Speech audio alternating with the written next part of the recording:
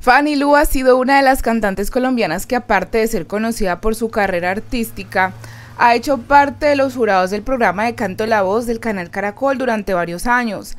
Dentro de todo su repertorio se han destacado canciones como Celos, Tú no eres para mí, Fanfarrón y No te pido flores.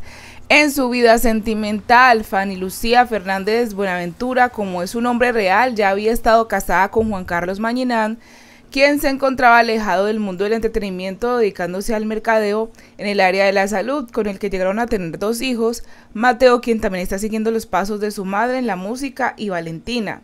Después de dicha relación fallida, Fanny Luz se dio una nueva oportunidad en el amor desde hace unos años con el empresario peruano Mario Brescia Cafarrata, con quien contrajo matrimonio el pasado primero de diciembre. Brescia es accionista principal del grupo Breca, anteriormente conocido como Brescia, el cual lidera uno de los conglomerados más influyentes del país, de Perú. Las empresas más representativas de este grupo son BBVA Perú, Minsur Taza, Seguro Rima, Urbanova, Clínica Internacional Minera de Toboca, Inturcia, Viñas de Oro, Centra Marcobre, Cemento Melón, Tricolor, Curoma, entre otras. Así que este es súper millonario.